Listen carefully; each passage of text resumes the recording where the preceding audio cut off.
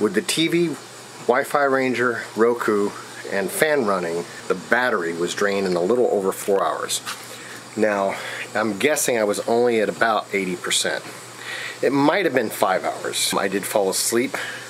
I was awake at the four hour point and then I fell asleep, so I don't know exactly where it shut off, so I'm just saying what if it fell shut off right after I went to sleep. So we'll just say four hours. It might have done a little better.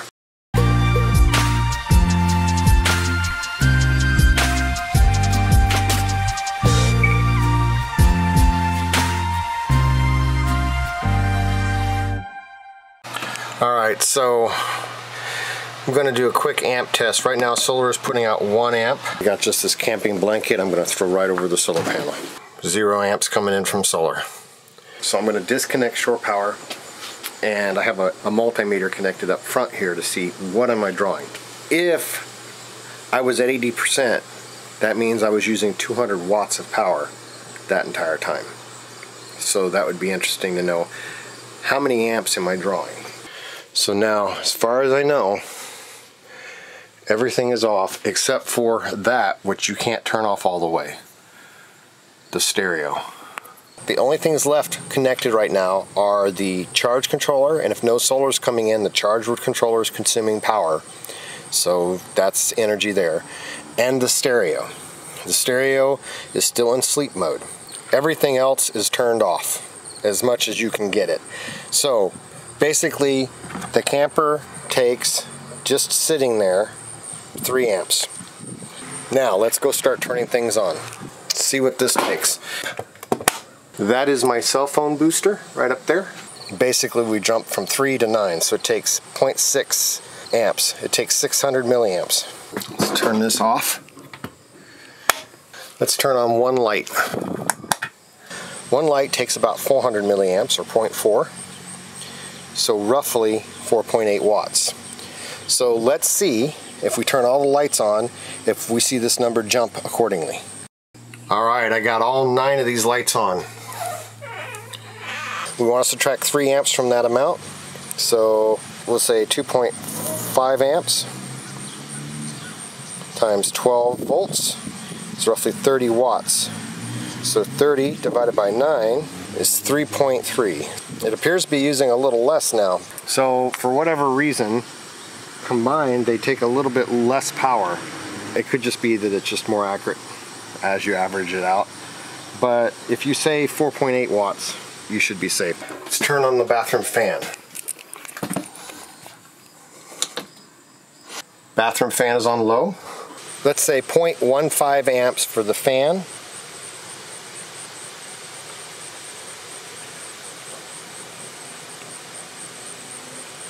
So 1.8 watts on low. All right, now the fan is high. Wow, look at that. That actually takes quite a bit. Look at that fan. That fan is basically taking almost 2.3 on high. So that fan takes almost 27 watts on high.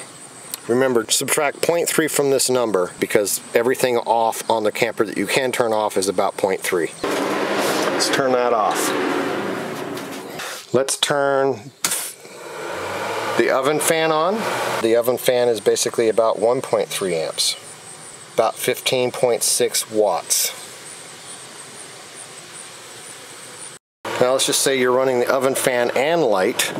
So adding that light basically added almost another amp. So almost another 12 watts yeah, you're looking almost 30 watts if you run the fan and the light at the same time. I don't have water in here, so I don't want to run it very long, but let's see what the water pump takes. The water pump takes about 1 to 1.1 amps. So basically, well, and then it just went up a little. Safe to say it's about 13 watts to run the water pump. Let's turn the antenna on. See what that takes, just the antenna. Not bad, basically 100 milliamps roughly maybe even less. So very little for the antenna 1.2 watts. So now let's just turn this TV on. Alright TV's on. Let's see where we're at. So yeah that's uh, TV's using 2.2 amps. Remember subtract 0.3 so roughly. And so that TV is using about uh, 24 watts. With the Roku with the TV on, we're looking at 2.3 amps with both running.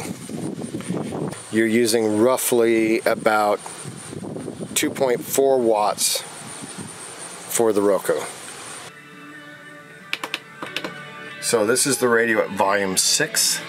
I'm not going to blare it, but it obviously will consume more power as you turn it up, but let's just see what it goes to. So the radio basically uses 300 milliamps. Well, 2 to 300 milliamps. You could probably say 250 milliamps, roughly.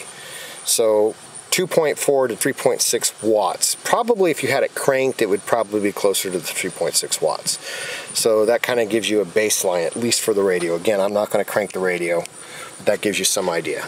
Let's turn the Wi-Fi Ranger on and let's see how much power the Wi-Fi Ranger takes. Alright, so it looks like the Wi-Fi Ranger basically uses 100 milliamps roughly.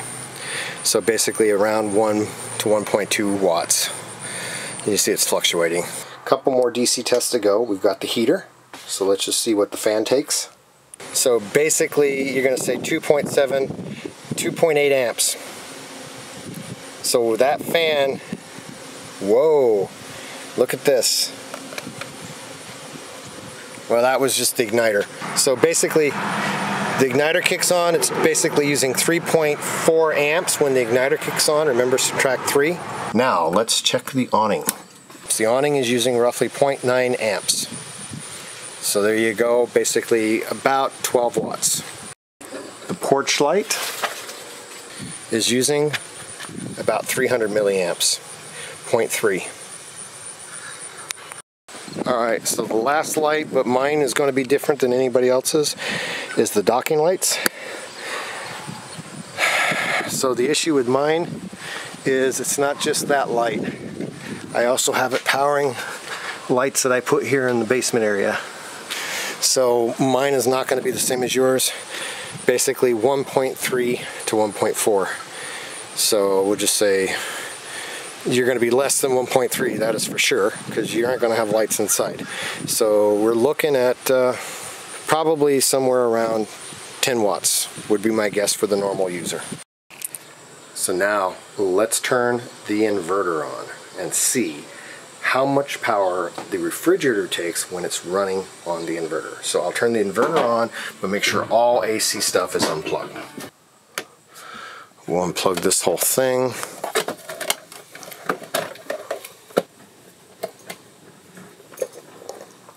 see how much the inverter draws.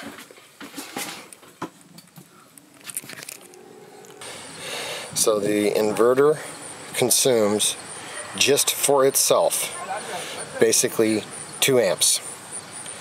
So you're going to consume roughly 24 watts of power just to turn the inverter on. Now, let's see how much power the refrigerator takes when it's running on the inverter. So all you do to run the refrigerator off DC voltage is just turn it on, make sure auto mode is on. If your inverter is on, it's going to be running off your battery. Wow. 17 amps. So there goes a lot of your power right there. So how did these numbers do?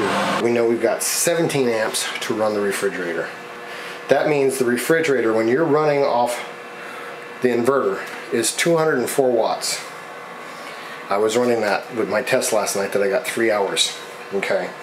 So we know that it's a 100 amp hour battery at 12 volts, so basically 1.2 kilowatts.